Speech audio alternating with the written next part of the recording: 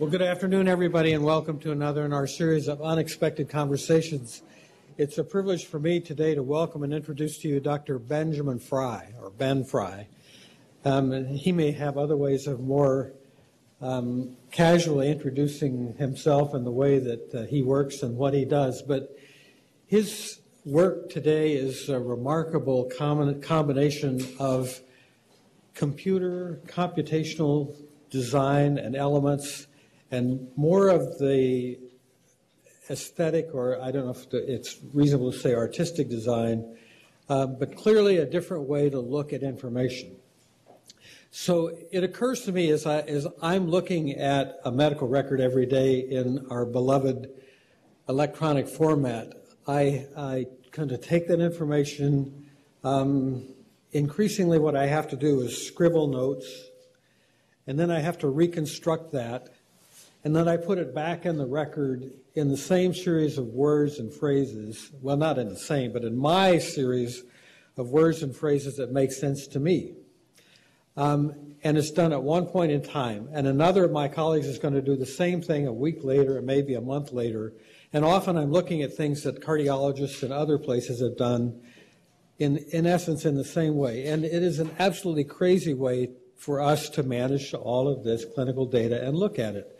And I can tell you that there are lots of things then that are actually missed in that circumstance, especially in the modern electronic medical record that reproduces everything, including all of the error, all of the errors that are made in construction and entry along the way. There has to be a better way. Ben's going to tell us that better way. So, um, more than half an hour. so that's one of the reasons we're pleased to have him with us uh, today. We, in the CFI, we've begun to deal with this a couple of times in some of our code projects by changing the way that we look at the medical record. More of a, a graphic representation rather than words on a page. And that's just our simple approach to it. His solutions are obviously going to be much more elegant. Um, he will tell you a lot about his work, and I'm sure you'll be excited about it. But since his um, graduation from MIT, where he earned his PhD in aesthetics and computational design, his career has really been meteoric. He has already authored three books. He's an author of a number of blogs. He speaks around the world. He's spoken everywhere except probably the North Pole. Um, he has earned considerable recognition at an early phase of his career. In fact, in 2011, he was recognized by Fast Company. He was recognized by Slate. He won a National Design Award for which he was recognized at the White House, all in one year. So, a remarkable guy. It's uh, great for us to have him with us today. He's going to take some time to talk to you, and then, as we always do in these conversations, we'll sit together and have some conversation. And we'd like to hear from you about some of the things that you would be interested in as well. So, obviously, your questions in that um, give and take will be welcomed, and we'll love to have them. So, Ben, welcome again to Mayo Clinic. We're pleased you'd come and share your Thanks insights so with us. Appreciate it.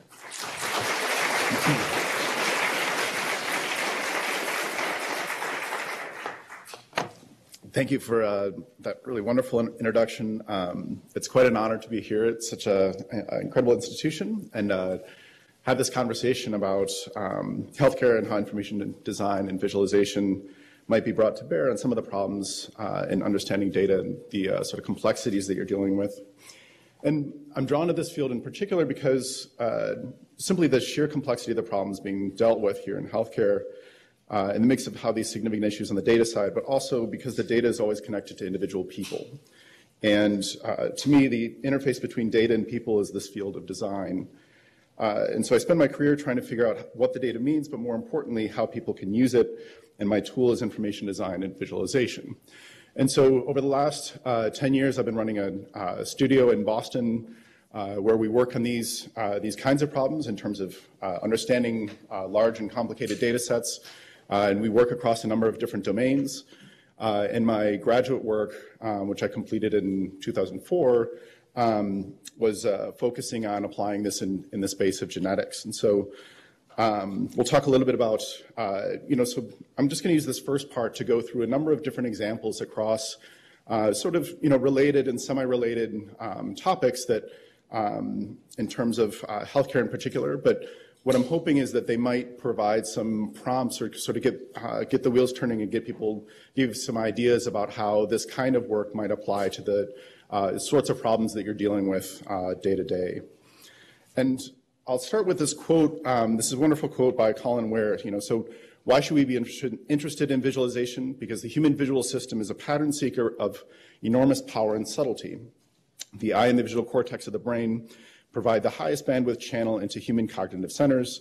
Perception and cognition are closely interrelated, which is the reason why understanding and seeing are synonymous. So when we understand something, we say, I see, and that that's something that's um, really quite built in for us. So starting from the, uh, the genetic standpoint, so this was a, um, diagram that appeared in Nature Genetics with some folks who I eventually wound up being uh, collaborators. This is looking at across a uh, 500,000 base uh, section of the, the genome. You know, we have a, a series of, uh, and it's just tracking uh, differences along, uh, along that stretch of the genome, looking at SNPs, and then kind of grouping those together based on highly correlated changes. And so, um, and amongst that, you know, so one person has this, I'm sorry, about 76% of people have this GGAC sequence. Uh, and then another 18% have this AAT and so forth. And so this is fairly typical of uh, the kind of diagram you see in a scientific journal. It's incredibly dense. There's a lot of very useful information here, but uh, it really takes some time to kind of sit down with it and you know kind of parse what's happening within it. But um, what they were trying to get across is the degree to which these letters would you know group together and uh, those uh, those SNPs would form these uh, kind of haplotype blocks. in in trying to find other representations for this, this was uh, done by another group, you know, so because one of the, uh, each location is one of two letters, uh, we use these two different colors. And then vertically, it's, instead of uh, printing out percentages, you know, we're, we're just going to proportion things vertically based on how often one, uh, one thing or another shows up. And then if, uh, you know, folks with this sequence here move on, you know, there's sort of some connections in between to see what the cross correlations are. Um, a third sort of competing representation of this was, um, you know, instead of trying to treat things as these discrete blocks, instead, you know, it's uh, a softer, more mathematical way of looking at it. So this idea of what were called LD units, and so we see those dots across the bottom and comparing those to the blocks themselves. And you know, some folks like this one a little bit better than the blocks because you know this one feels a little bit more mathy, and mathy is smart, and mathy feels good, and you know that sort of thing. Um, in the course of developing these ideas, uh, the folks who did that original diagram developed a tool um, to actually analyze data in this way. And so this was the original version of the tool. And they were um, kind enough to make the code for that available. So I went in and um, started pulling it apart and trying to improve the design in, uh, in terms of how, uh, how it worked and how it communicated the, the information within it. And so what we have on the left and right is the exact same data.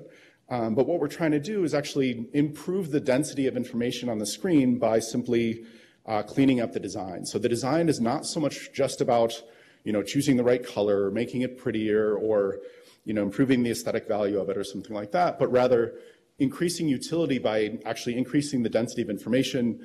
Um, you know, there, we're never going to have less data. You know, we're only getting more data that we're having to deal with, and so it becomes incumbent then to be able to um, pack as much data as possible into a smaller, uh, uh, as small as small as possible location and area. And even with something like this, um, having turned over the the tool on the right hand side to the uh, researchers at the time, one of the uh, responses that I got from uh, one of my collaborators was, "It's too pretty. I don't feel like I'm doing science."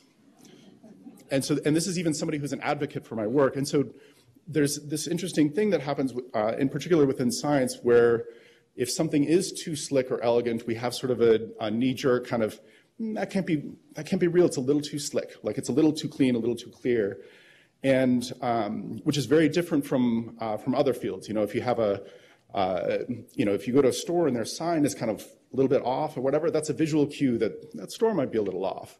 And so um, the way that we uh, so we need to kind of change uh, how we think about the way that information and uh, design actually is, you know, works within these fields. Um, returning to those, you know, those first few diagrams, what I was interested in doing is, you know, pulling ideas from each of them and putting them into the same uh, representation because uh, really they're all talking about the exact same thing. They're looking at the exact same data. And so um, built this uh, interactive uh, piece that lets you um, go through each of them. So starting from that initial, I'm sorry, starting from the second diagram that uh, using the colors, using you know vertically showing proportion and so forth. Um, we can switch over to the even spacing, so now we can see the individual letters, and so now I have that, you know, 76% with the GGAC, et cetera, and the 18% down here.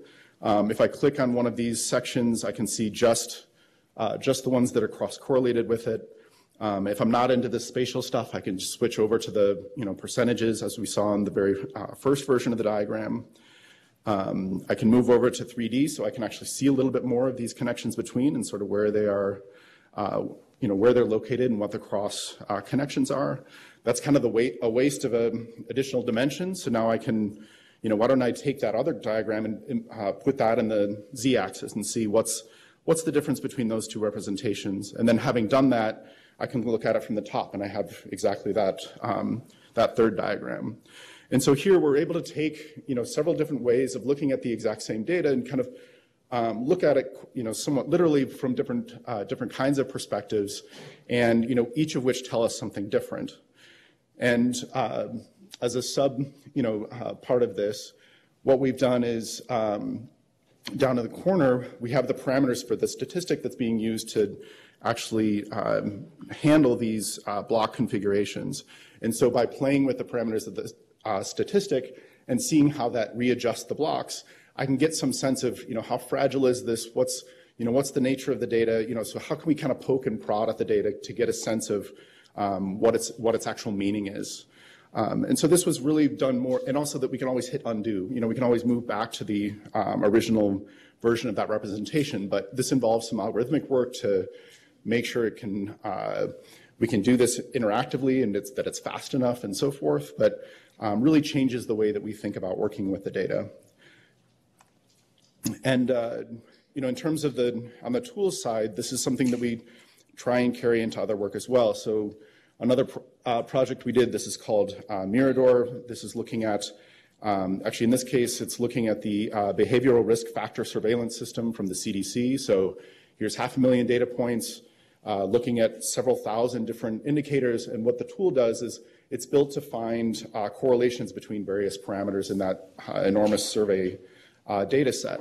And so um, it has various you know, elements that allow you to uh, kind of track things down and filter and, and so forth. And then we release that as just an open source tool that's available out there. And so this is uh, a long ways onto the you know, sort of exploratory and analytic um, side of things. And on the other hand, sometimes we're working for uh, sort of a broader audience, sort of consumer audience and so forth. So uh, GE brought us in to uh, build something for a uh, health and human services event. Uh, they, they were doing an event around uh, building apps and tools using HHS data. we came across the, the CHSI, the Community Health Status Indicators, you know, really a fascinating um, data set looking at county by county level data and sort of the state of health. Um, but as often happens with um, you know, government data sets like this, the interface is initially a bit obtuse. You know, so uh, first you select a year, and then you select a state, and then you select a county, and then you get a representation of what's you know happening within that county, and you can um, look at some of the other sub you know measures of that. And the problem that's happening here is that all those selections have to do with how the data is stored, not how you actually use it. You know, so because the data is stored state by state in separate databases, because they all come in with different reporting requirements, that's now pushed over to the user instead of thinking about, well, how are users really going to use, uh, make use of this information? And so um, as a more, you know, consumer general audience thing, uh, we took this and turned it into an iPad app. Um, so this was 2012 or so, uh, 2012, 2013, and uh, just took all of that data, all the indicators, all 3,000 counties, and just made it very simple to swipe through all of those indicators. And um, you know, so here we have a basic history function. You can uh, kind of move through uh, other things you've looked at, um, breakdown of demographics and summary, births, deaths, et cetera. Um, and then I can zoom into particular areas. And so by first starting with this overview, now I can go in and, you know, if I see something interesting happening, I can go in and look at that specific county. And now having selected a county, I get all those details back that were on that, uh, that later table. And so, you know, kind of switching this over, kind of turning it upside down based on what was uh, relative to what was on that site. And the, um, the fun thing about this, though, is uh, so we put this online, and uh, it was a free app in the, um, the iTunes store, and, uh, and we got 100, over 100,000 downloads. You know, so here's all these people going and um, playing with might be kind of, you know, they might have considered boring health data, but instead they're sitting there on their iPads, kind of looking at their county and the ones next to them and things like that. And so I think one of the things I'm always interested in doing with our work is anytime that you can kind of cross the barrier from, you know, the set of people who would have gone to that HHS site that morning versus the set of people who are actually going to sit there and play with that data and learn something from it and uh, maybe use that to generate some questions and uh, feed their curiosity, I think that's a, you know, a huge win for us. And so that's a interesting, um, you know, it's always kind of a target for us as far as who can we engage with this data? This is data that's affecting the people that are represented here. And so how do we actually get them uh, into it and, and thinking about it? Also on the uh, consumer side, we did some work with Nike a few years ago. And so um, at the time, they were still doing uh, what they called the Fuel Band, which is sort of an activity tracker. Um, they've since gotten out of that business, but the activity trackers continue apace. You know, so Fitbit and uh, the Apple Watch does some of this too, as far as just tracking your activity over the course of the day. And you have a uh, with this particular device, you have minute by minute activity levels, and um, what we were able to do is uh, get access to the, their entire database, the entire set of people um, who are work, uh, who are wearing these uh, these bands. So uh, basically, uh, several million days of you know 1440 uh, minutes per day, and start you know be able to do anal- analysis on this, which is a lot of fun. Um, the raw data looks something like this. So here's about a month's worth of data from a, a single person. A workout uh, has a, you know, is a spike, uh, something like this. Here's a longer workout down here. And then you can just, you know, sort of see some of these uh, basic day-to-day kind of patterns. And the way that it's represented back to the users is, you know, really very, um, you know, they present a far more simplified version of it. This has been smoothed to the half hour, maybe even an hour. And um, it's just kind of focused on, well, getting to your, you know, your, your number and general ideas about, well, you were more active early in the day or less active late in the day and so forth. Um, and so we wanted to uh, try and give people something that was a little bit more uh, about them and about their uh, their data in particular. You know that because this was all being collected by Nike, how do you instead make that about the user instead of about about Nike, say? And um, so we started developing these uh, posters. So this is a three foot by two foot um, poster intended to kind of be something that looks that is your sort of fingerprint of activity. Um, it's meant to look interesting at a distance, you know, hanging in your office. That top two thirds is, you know, kind of your fingerprint sort of thing. And then at the bottom, you have more of the details of day by day, how active or not um, you are. Um, and so the way to read this, uh, so this is 3 a.m. on the left-hand side and 3 a.m. on the right-hand side, and we've superimposed um, all of the days of activity that we have for that person. So uh, this person, this was actually our contact at Nike. Between 6 and 9 a.m., she's pretty good about getting out and uh, getting a workout in, um, sometimes over lunch. Um, and we can tell some other stuff about, you know, workouts per week and so forth. Um, this is another person. This was somebody in our uh, studio. So each morning he uh, bikes to work. He's good about um, getting out for uh, a walk at lunchtime. And then we keep him later and later in the evening to work on Nike projects. Um, and uh, and also we can see things like you know his uh, his Sundays are not days of rest, so his activity is uh, up by about 30% as he chases around his two uh, young daughters, and so we can start getting some of this feedback from uh, from these plots because they have very different uh, sort of characters to them. Um, this was somebody else from Nike who does marathons and wins them. Um, which, you know, and so kind of from the intensity there, you can um, perhaps infer what sort of uh, person we're dealing with. Um, this was mine at the time. I, sort of, I am not running marathons, um, but basically getting up at six and going to 11 and I stop and sort of have this steady state thing. And around this time, my daughter was born. And so you see a couple spikes over, overnight as I'm pacing around the apartment. Um, but this was also a very helpful bit of feedback for me as far as my, uh, so my patterns no longer look like this because, you know, having seen this, it's like, oh, this is why, you know, this is how I feel uh, over the course of the day. And so I can actually change behavior based on this. And so that's a really powerful thing too about seeing, uh, having your data sort of echoed back to you. Um, and these are just some of the other examples, you know, so um, an interesting sort of identifying um, uh, print for folks um, this is one of our developers, and then one day he let his wife borrow his fuel band, uh, and she got a she got a run in.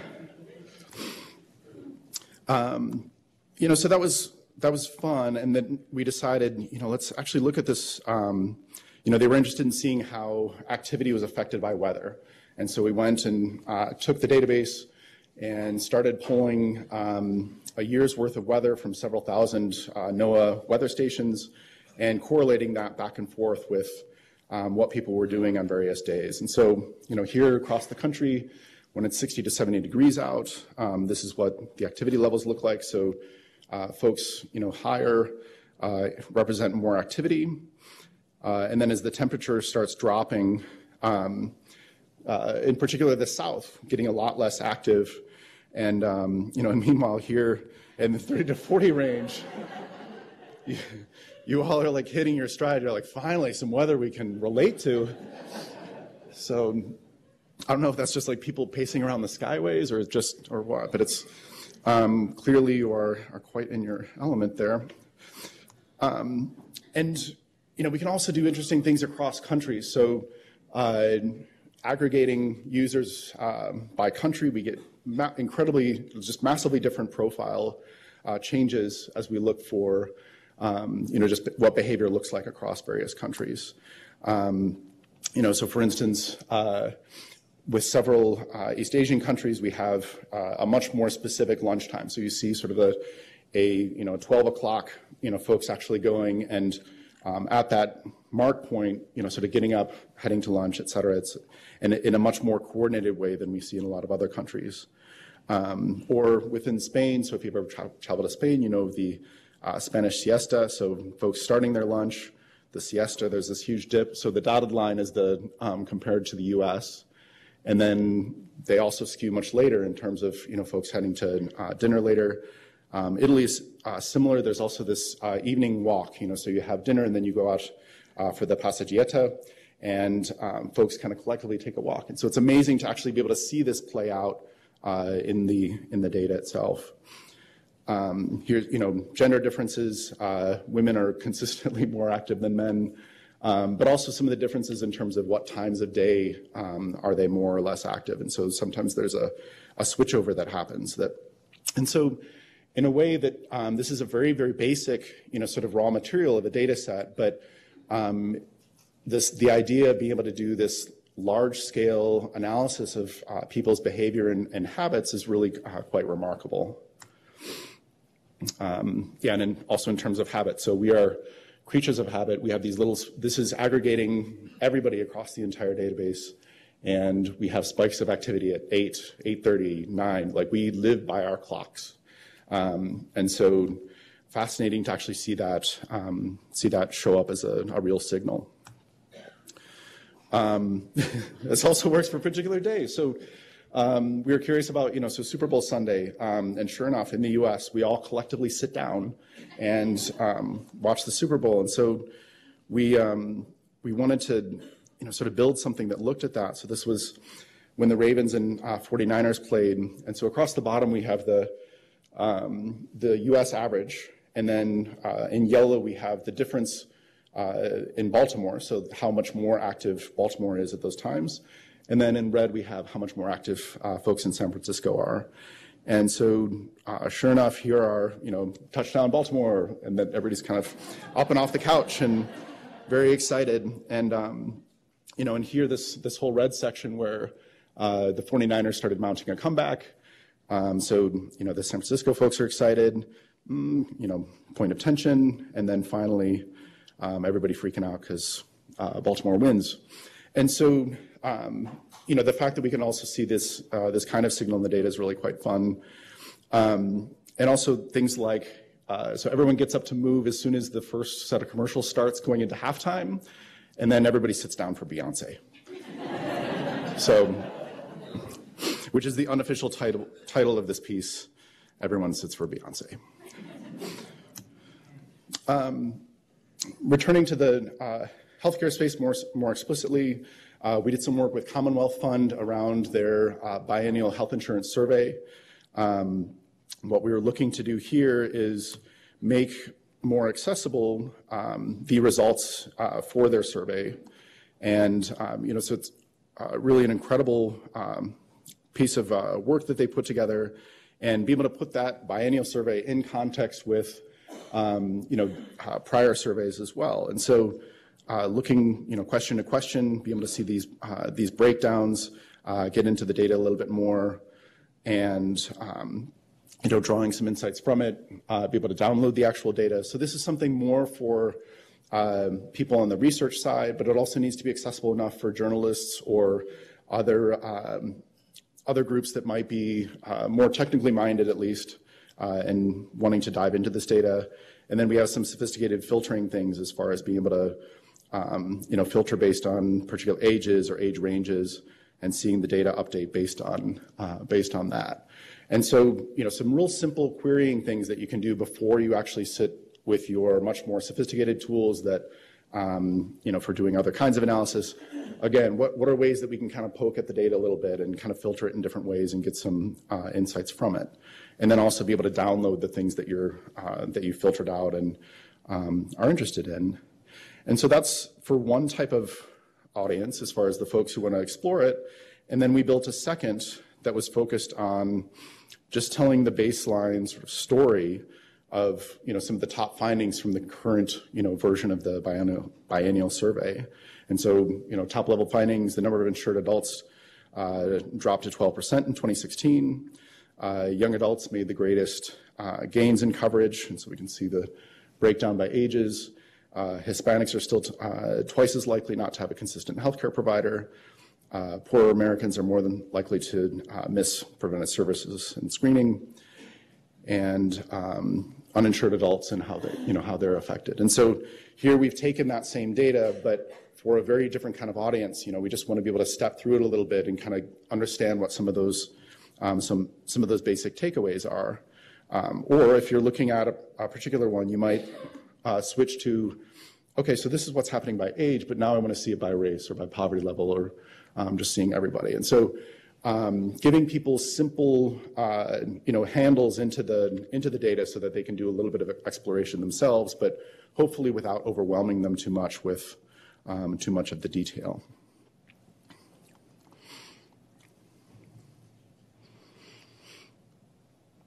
Let's see. This was a, um, you know, so that's more of a, you know, step-by-step animation or a step-by-step uh, slideshow sort of thing or the Explorer before it. Um, other times we'll try and tell stories simply using animation, you know, so based on actual data, um, or always based on real data, but this was something that we did with um, the CEO of the physicians organization at uh, Mass General Hospital, and he wanted to kind of talk about the overview of how uh, MGH was structured, and, uh, and then in particular, how do uh, patient interactions work? And so uh, breaking that into uh, you know three different types of um, three different types of interactions, with type one being the simplest, uh, type three being more more complex, and where it gets more interesting for uh, how the Mass General system works.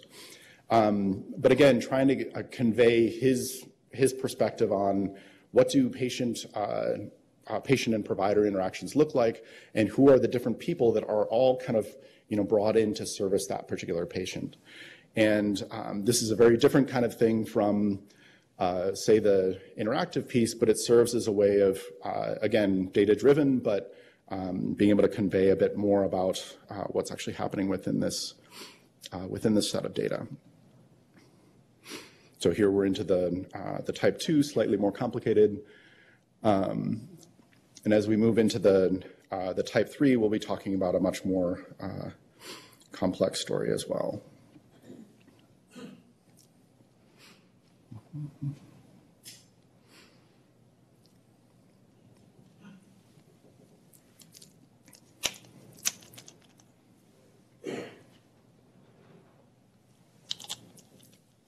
my water break. So type 3 patient uh, comes in with a suspicious abdominal mass, abdominal mass, talks to a nurse who uh, refers to a physician, uh, then is referred to an emergency medicine physician.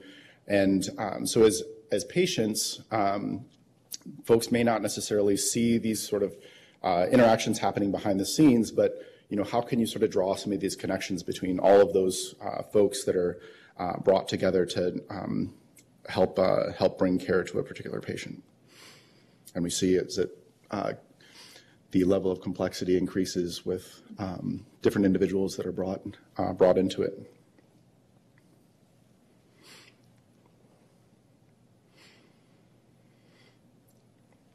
So now we're with the oncology surgeon on the end, and then going back to their uh, their board. You know, so that's something that's going to be opaque to a patient, but um, all part of that that broader system. Uh, others uh, check-ins, the other nurses that are involved in it as well, and you know, sort of how this all comes together for a, um, and then with uh, follow-ups and so forth. So simply be able to take, you know, his concept of what, you know, how this uh, system works and be able to use this as a means of uh, explaining to others. Um, and so that, that being an animation, uh, another completely different sort of format is um, doing these things as sort of installations or artwork. And so uh, MIT was putting up their, uh, their new Cancer Institute building a, a, few years ago. They had the space. They contact, contacted a collaborator, a friend of mine, Casey Reas, uh, because he had done this piece for another, uh, another group, and they wanted us to do something uh, related to their work in, in cancer, um, but done as an artwork and installation for that, that lobby space. And so um, they said, well, let's do something on uh, this cell cycle um, network uh, stuff that we're doing. Um, you know, here's our diagram of what it looks like. Makes sense.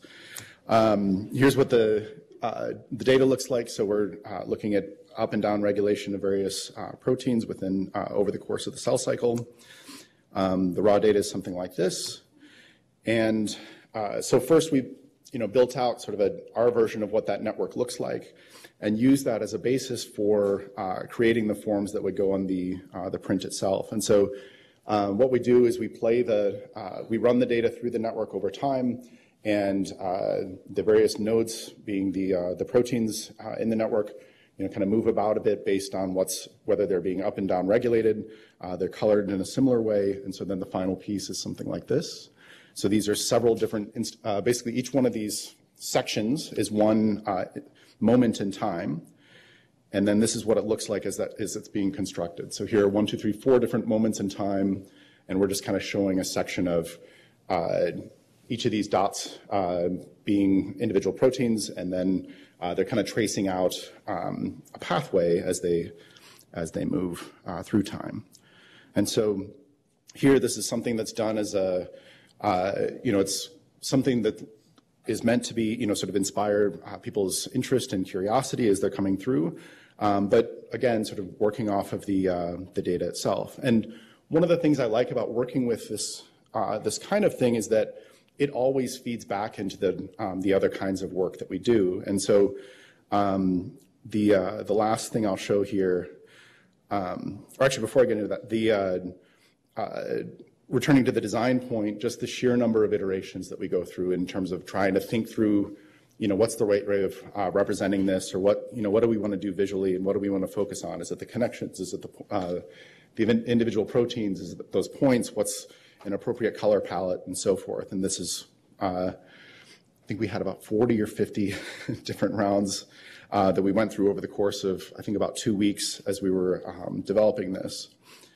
Um, but then, you know, sort of getting to this point of how this actually, how this winds up affecting our other work that might be much more tool-oriented. So this is a current, um, we're just uh, two weeks into this project where uh, we're working with a bunch of raw data uh, on, with a group from Stanford working in um, system, systems biology, where they have modeled uh, an E. coli cell in software.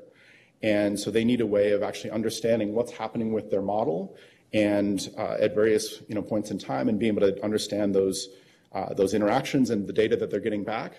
And both as a way of debugging the model, but also as a way of you know, starting to do uh, cell work in software, which is really uh, a pretty remarkable sort of thing. And so, um, so here we have, you know, basically a tool that's doing the same kinds of things as we were doing in that previous artwork, um, but instead, uh, here we have a very different task of being able to tie kind of what's happening in the network and a researcher wanting to say, wait, that looks interesting, and I want to go back and uh, see a specific point in time um, and see what's actually happening across uh, the other uh, the other related uh, proteins in the pathway or uh, the various other processes that are happening within the within the cell. So, um, so we look forward to finishing that one over the next few weeks um, this summer. Um, and then just to to close, um, you know, sort of the four main themes that we're looking at when whenever doing uh, design and visualization. Uh, what we're after is, you know, first simply communicating. So a field only moves as quickly as you can actually communicate ideas amongst uh, people within that field. A number of these pieces are about, you know, so the, uh, the Commonwealth Fund piece or the Mass General um, animation. These are about just simply communicating uh, a point of view or a way of thinking. Um, consider is about being able to take enormous amounts of information and put it into a small space. You know, so with that um, iPad app that lets us look at the county health data, we can now suddenly consider all 3,000 counties at once and do that across the 80 different indicators that are, um, that are there. Um, closely related is being able to condense the amount of information. So with the, uh, say, the Nike activity stuff, we've taken, you know, literally billions of data points, and we're uh, able to put that together in a way that we can layer, to, uh, layer in sets of information that might be more or less relevant at any particular point. And then finally, this point of conceive. So I think one of the problems in terms of understanding data and understanding uh, complex data sets is a sort of failure of imagination as far as, well, does it have to be like this? Like, do our EMRs have to look like this? Are there, is there not a, a way that we can kind of put these things together that actually do a better job in terms of servicing both the end, uh, the end users, whether those are the uh, providers or the, uh, the patients themselves? And would those views not also be very different? And also, you know, what are the kinds of views that are needed by people who are trying to look at things hospital wide? And so um, really what we're trying to do is uh, encourage people to think, uh, think differently about and have different expectations about what their tools uh, should be able to do. So I will close there. Thanks very much.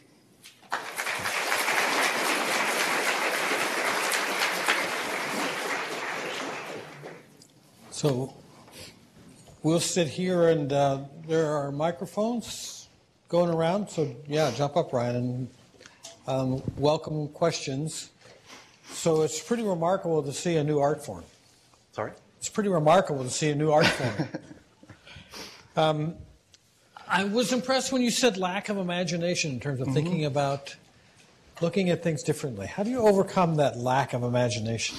So,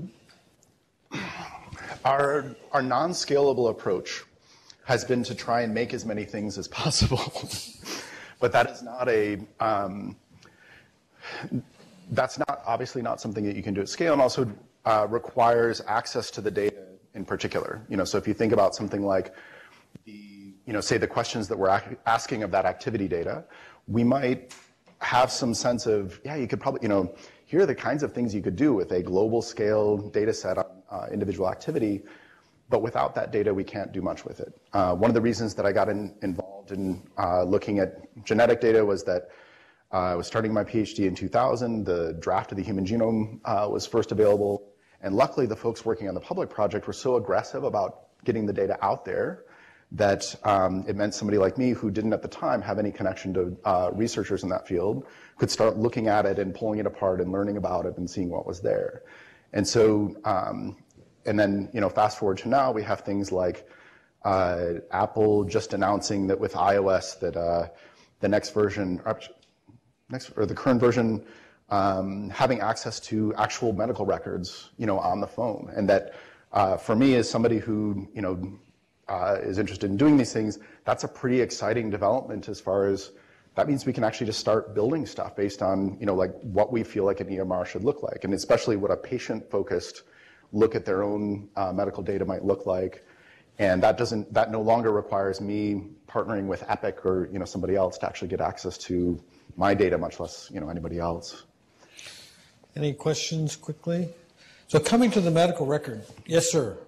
So How do you do Only two weeks later is there from zero. Like, how- how do you It, sometimes it's several weeks. So, the- so the question, so we try to get the, the microphone to people so that the Yeah. people who are online will hear us. But the question was, how do you do this so fast? So the uh, the one at the end there, that that being a couple weeks, um, uh, I have a you know we have a, a way of working uh, in software that's very close to the way you work in design in terms of trying to make something very quickly. You know we call it sketching, uh, even though we're working within code. And so uh, the person building that has now been with us for six years, um, and so he has a lot of practice at doing that. And he just he's really good about you know just uh, kind of throwing the stuff together and then uh, it's great because then we're in a spot where we can uh, respond to it and say, okay, let's you know start fixing the design. Let's um, uh, the our collaborators that we're, that we're working with, they can start giving feedback about like mm, less of that, more of this. Like, oh, I didn't know that we could actually do this, or you know, uh, they might also say, oh, we need to give you this other layer, you know, layer of data or two that they want to add to it, and so. Um, so it's a, very different um, approach to working with problems like this. That it's kind of upside down from the software engineering approach, where it's, well, you're going to sit down, you're going to have this, you know, nine month or 18 month timeline, and sort of, you know, what are the data structures and what are the functions and the API, you know, the inputs and outputs and so forth. But instead, uh, let's build stuff quickly and uh, take a look at it and just iterate on it heavily from there. Other questions? Ryan, turn around, right in front of you. Um, I'm curious to know what software and/or programming languages you guys use to make those visualizations. So we um, we use a couple of different things uh, depending on the nature of the um, the problem. Uh, let's see. So a lot of uh, Python, JavaScript, and Java are kind of the, the main three that we spend time with. Um, I've been involved in a project called uh, Processing, which is sort of a, a library library and environment on top of Java that makes it easier to build things like this. That was a core part of um, that uh, that first uh, you know diagram that does the multiple perspectives. That was built in uh, built in processing, and nowadays, 15 years later, we can just do that in JavaScript in a browser, and it's a lot a lot easier. Um, and yeah, so we just kind of use different different kinds of tools for the for the job, and we have some internal things that we use, or we use the processing stuff as well. Yes, sir. I actually have two questions. Um, so the first one has to do with privacy. How do you deal with the issue of, of personal data and privacy? Um, I don't know if you're aware, but in Minnesota, we are the only state in the union where you cannot use medical record data without permission from the patient. Um, we have Minnesota Research Authorization, is what it's called. Yeah. So That should um, be- just, and then I'll, I'll ask my second question after. So um, there are always specific constraints that we're dealing with, uh, given the data sets that we're, loo- we're looking at. You know, so um, let's see. Yeah, it's, it's just a, a very much a case by case basis kind of thing. Um, as far as the uh, and a lot of times, you know, so for instance, we had uh, very strict constraints with the Nike data as far as what what we could do or who had access to it or how it was stored at, uh, at rest and things like that.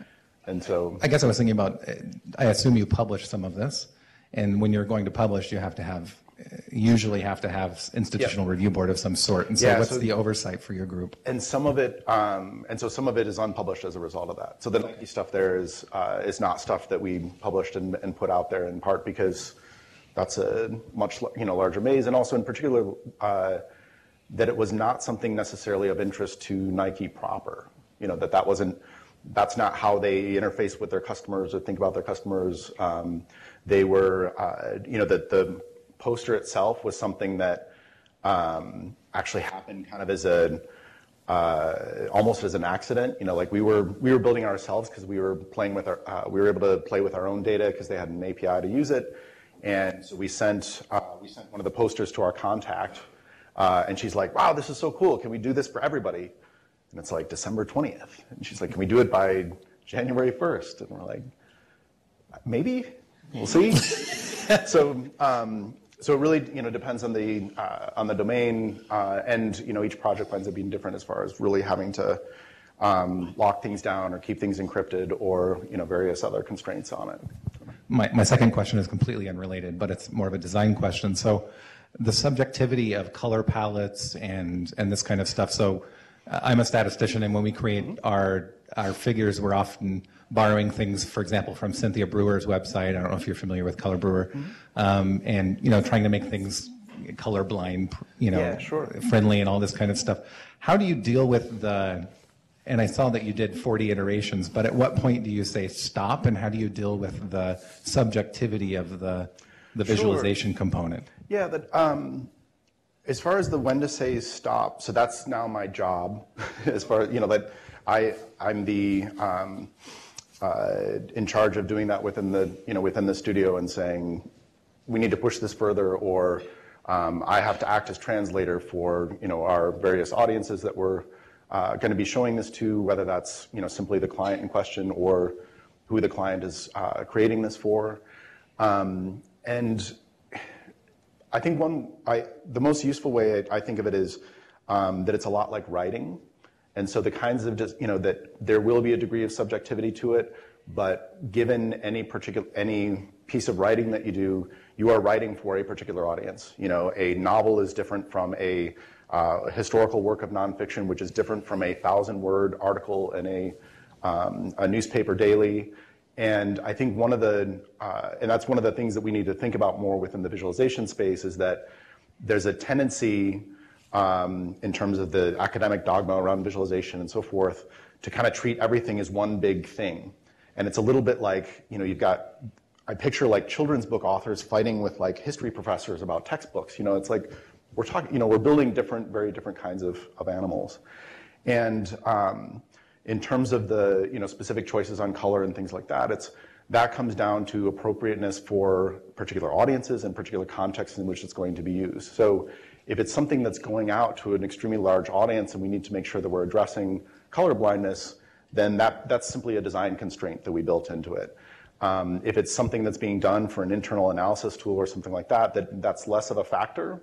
Um, that's that becomes less important. And so we spend a lot of time uh, especially early in the project, figuring out who, you know, who's the audience this is going to and what is appropriate for that audience in terms of level of finish and things like that.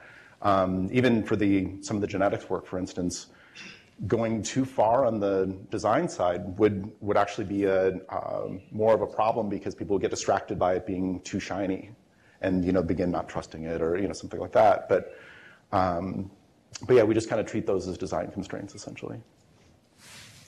Another question, way in the back. Give us one minute to get there. Ryan's going as fast as he can. Go ahead. How do you decide your uh, problem statement, like from the data, or after seeing the data, or before seeing the data? Or So, yeah, that's a great question. It's um, it is something of a, a dance uh, for us in terms of when a when a client contacts us, and um, that there's a lot of back and forth in terms of, you know, they might contact us and say we have this data and we'd like to do this with it, or say X, Y, or Z with it, and because we don't have the data in hand, we have to kind of use our experience to guess at, okay, do they have that data? Can it do that? Can we? Um, do we think we can effectively tell the story that they're telling? Do we think that's a misleading story, or do we think that's actually something that's you know going to work? Uh, and so even before we uh, have a contract in place, we have to sort out those issues ourselves. And then once the contract is in place, there's still a great deal of back and forth, you know, so that uh, we take a look at the data. Um, so our, our process is that we start by taking an initial look. We check that against what, you know, the initial problem statement is. Uh, we won't take projects that are too narrow in their problem statement if they say, we want to do this with the data and we know it says this, that we know the data is going to tell them something different and that they, uh, that they didn't expect. Um, and so there needs to be a certain degree of flexibility there. And so um, we keep doing updates based on, hey, here's what we're seeing. Does that, you know, uh, is that in line with what you're expecting out of it? And the kinds of things that we're seeing, are those useful for the, the message that you're trying to get across? You know, so it's why, for instance, with the, the uh, tool for looking at the, for doing the uh, cell network stuff at the end there, it's why we're trying to build a quick version of that initially so that we can get it in their hands and they can say, oh no, we need to fix, you know, a couple different things about our model before you guys even continue any further. Or they can say, mm, this looks wrong, we need to get you a completely new data set, which that's actually a, a very common response that people, um, people find uh, anomalies and errors in their data that they didn't expect, but in, uh, on seeing it visually the first time, it's really glaring and sort of front and center. So. Thank you. I have another question. I'm sorry. Go ahead. So it is regarding to structure of data. See, not every data is uh, structured, and there, uh, there are a lot of uh, you know null variables and other unstructured data. Uh, how do you do the data cleaning process? Like, how do you decide, and what is the process in? It, yeah, I mean it's it's uh, it's tough to answer in the uh, in the broad sense. We um, one of the a significant line of work that we've been doing over the last uh, six months to a year has been around uh, text and basically having these um, and actually really documents in general. So having uh, given Word doc, you know Word, PowerPoint, uh, PDF, et cetera, all these different uh, document types of various lengths of various topics. You um, have this really heterogeneous set of information. You don't have useful metadata about it. Uh, how do you start making sense of that? And so um, we, uh, and that's been a you know set of uh, research we've been doing about. Um, you know, I don't really believe in metadata ever really existing and working properly. And so, how do you work without that metadata? And how do you uh, kind of work more from an assumption of things are less structured than everyone thinks, and therefore we need to kind of design around that. And so that's just kind of built into the, the process and how we think about it. Yeah, um, I have a question about signal to noise. Is this something that you worry about? Um, for example, your original data may not have noise, but in transforming it, visualizing it from different angles and time scale, you might see something that is not there. Is that something that you worry about sometimes? Yeah, I mean, certainly that, um, because I think, you know, any representation you choose to put on it is going to reveal different, different sides of it. And also that those sides can often be uh, misleading or suggest something that's not necessarily there. And so um, that's another point why, uh, for why we do so much iteration on it. You know, so instead of saying, this is the way to visualize this particular data, we'll try a couple different things to make sure that it's actually revealing the stuff that um, is most uh, most useful or most salient, and not getting caught up in um, uh, just you know exposing those particular uh, points of noise or even points of uh, I mean, so like a, a, more concrete example, we had a um, we were working with GE and looking at uh, wind turbine data, and uh, started doing these plots of you know the uh, feed, feedback coming off of the uh, turbines themselves. And so uh, on the two axes you have uh, how fast the uh, turbine blade is going, and on the other axis you have how much energy is coming out. And so the way it works for a wind turbine is that there's it makes a sort of lovely S curve. If everything's going well, you're somewhere along that S curve. But the thing that actually you find in, in terms of starting to plot that out the first thing you notice is the anomalies in the data. So basically, where uh, you know how you diverge from the S curve, and uh, and so that was a, not a useful representation of it. And not only was it not a useful representation of it, but the um, it would also give away uh, proprietary aspects of their technology because one of the other things we had was the um, sort of vector field showing you know what direction the wind was going. And so during those anomalous cases we were kind of showing exactly what was happening with the algorithm that they use. You know, so the, the wind turbines themselves try and kind of move a little bit to catch the wind. And so it's like suddenly we're revealing their proprietary algorithm about how they try and catch wind when things are breaking down.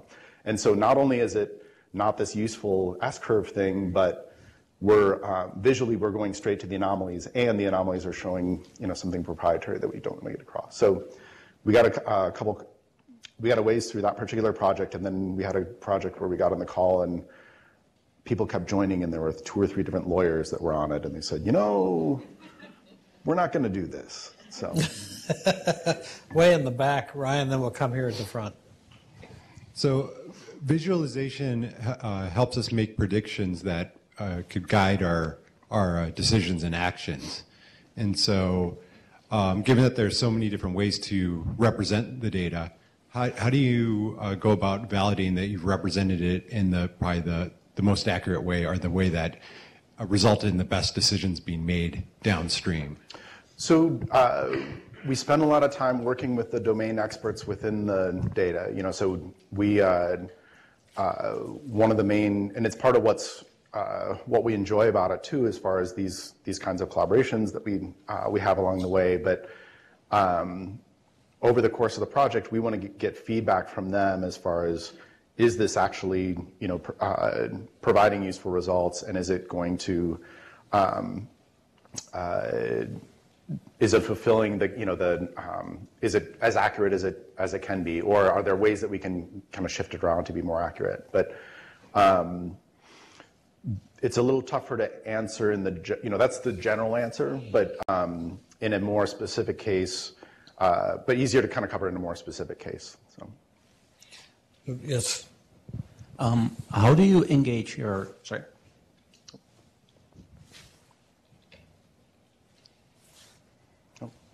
Okay, how do you engage your users or customers? Like, what questions do you ask them? How often, like, how closely do you collaborate? And what do you need for this thing to happen? So we um, we typically, uh, you know, a, a typical project line tends to run uh, 10 or 12 weeks. We talk to them uh, weekly. We're working with a set of uh, people who are, again, sort of uh, domain experts. Um, they might uh, come by and actually, you know, sit with us in, in some cases, um, and that will Your conference is scheduled to end in two minutes. presentation based on uh, their feedback uh, right there. Um, it's a lot of, you know, but essentially comes down to a lot of back and forth as far as, you know, uh, one week we're doing something on the back end of how the data actually works. The next week we're kind of applying a round of design to it. The next week we're doing something back end, and that uh, checking in along the way to say, again, is this uh, conveying the things that you want it to convey? Is it um, uh, is this going in the, a direction that you know makes sense? And so it's just a great deal of, back and forth because um, for any of these things, we're, there is, uh, and the most interesting problems all have a significant amount of domain expertise into it. So.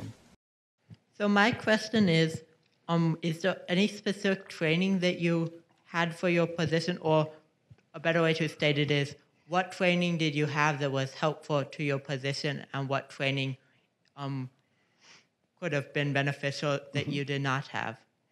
Oh, that's a good question. Um, so I'm uh, I'm a weirder case because I started coding and doing design when I was really young.